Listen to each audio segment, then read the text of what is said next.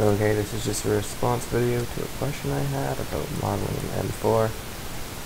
Um, first of all, we had a question about how to join faces, I think that was the question. So this is what you do, you get four faces, or four vertices, sorry. Select them all, they can be anywhere, hit F. And go fill in the space.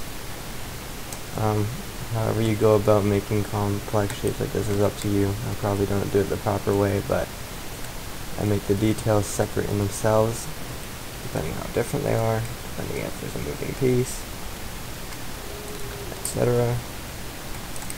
And lots of people like to do subdivide modeling, but I find that to be a huge hassle, and it gets messy.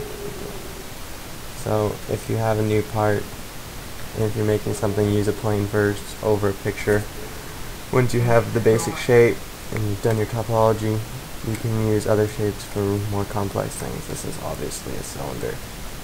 It might be a little bit thinner, so I sized it down on the x-axis. Um, yeah, I didn't just model this all from one.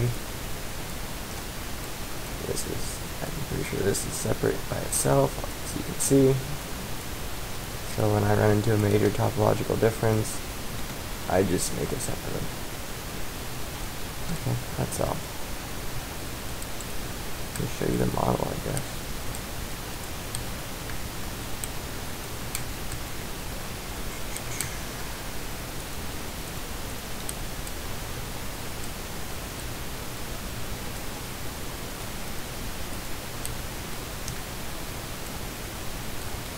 Yep, that's all for now.